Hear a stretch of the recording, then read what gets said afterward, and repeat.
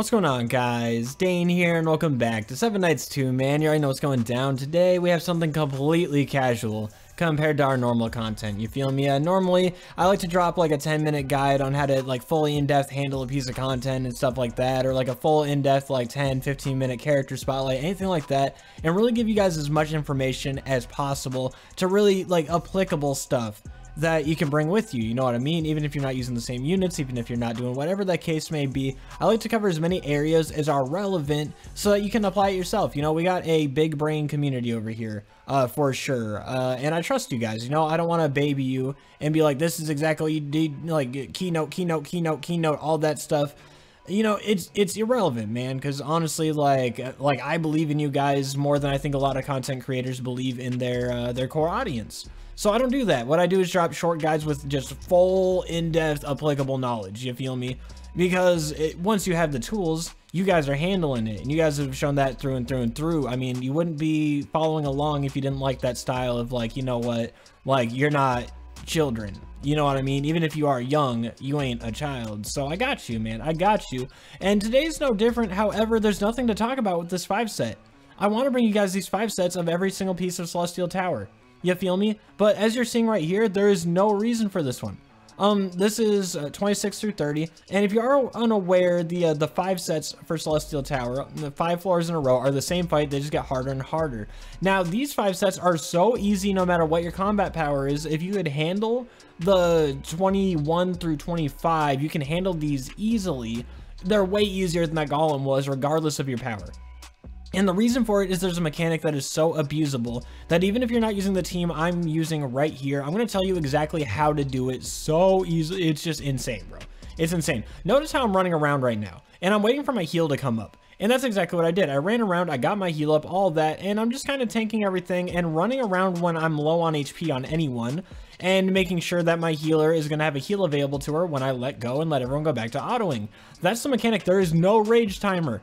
This boss does not have a rage timer, and he only has a single target attack that he'll use once in a while when you're away from him. So if you're at half HP and you run away and you wait for a heal to come up, you will never run into trouble with him. Use someone that has two heals in their kit. I would highly recommend Karin. She has a shield, so after she heals, she'll save people from blasts like that. On top of the fact that if someone does die, if you're not using the same team I am and maybe you have less survivability on your team, whatever the case may be, uh, you can easily use people as meat shields to get to her ultimate and just make sure that you revive people when you have your heal available to you.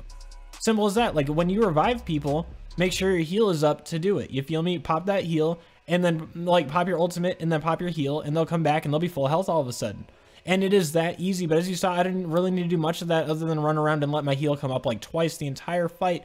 That was such an easy five set, it's unreal. So what we're doing instead, I'm going to show you guys the tactic that people are bringing up left and right on that Soulstone video that I dropped, and it does work like a charm. Now, the reason that I didn't do it, I thought about it, but the reason I didn't do it uh, was because I wasn't sure if they were going to be out of the circle range, this little blast right here, uh, right off the top of my head, and I also didn't want to just full-on test it by having to build a range unit to see if it would work in general because I didn't have a second one built nor did I have a second one available that I even wanted to build at the time. So now here we are and uh, you guys were absolutely right. This is a beautiful tactic right here. So I figured I'd show it off in practice for people that either haven't seen that video or people that are, uh, you know, uh, read the comments and weren't exactly sure what it looked like in practice. But this is all you do. You do a drop off method. You run everybody over in a squad to one side of the map and then you run Valder right here between the rock and a hard place, man. You feel me? And you let him take all the heat. He's going to get clapped left left and right, not in a, not in a giggity way, and things are going to be smooth for you. You just literally stand here and move out of the way of the ultimate, and it is donezo, bro. But while I have your attention, guys, we're coming up on the 1500 subscriber special, and I want your opinion real quick.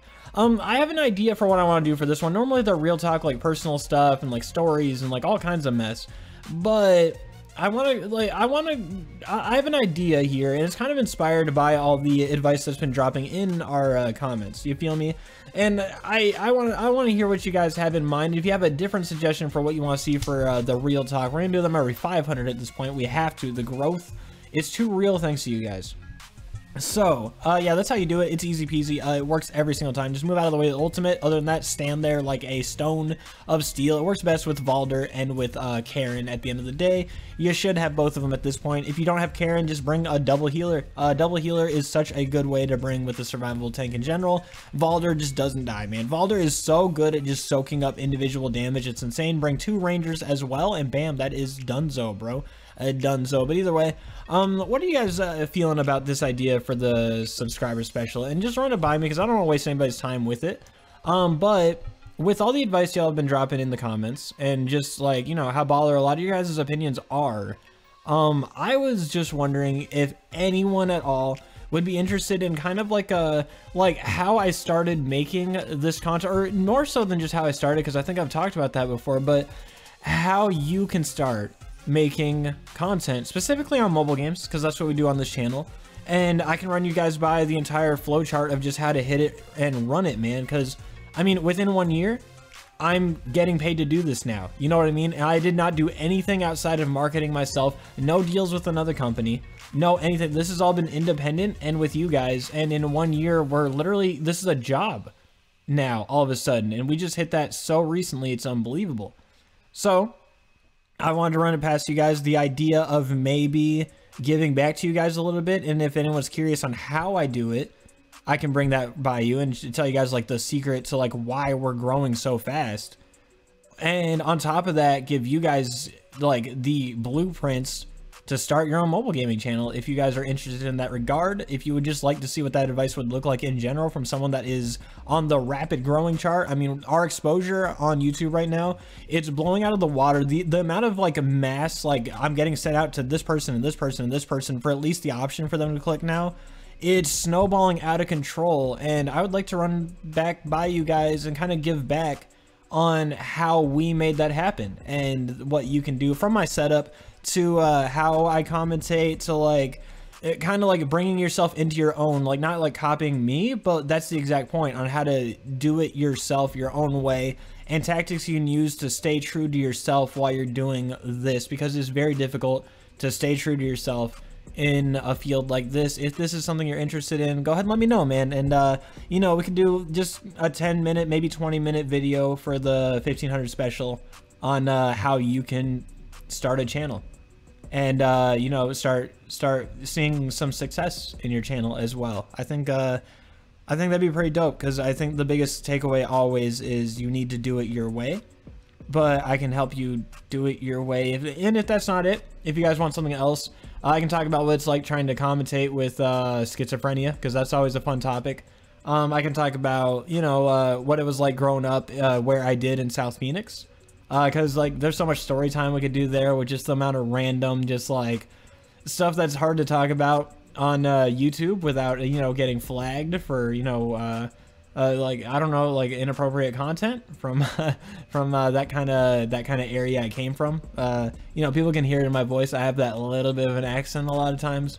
It's it's not forced. It's uh, it's from where I grew up. You know, I could do story time. I could do a lot of different routes. Uh, but we're coming up on it very quickly, so I want to hear your thoughts on that, or which way, one way or the other, whatever the case may be. But either way, guys, I hope you enjoyed it. If you did enjoy it, go and click that like button, man. But you know me only if you really liked it. And if you vibe with me, then subscribe with me. I got you covered on two videos a day on the best hidden gems on the mobile marketplace. Hands down. Thank you so much for watching. I'll see you in the next one. Peace out.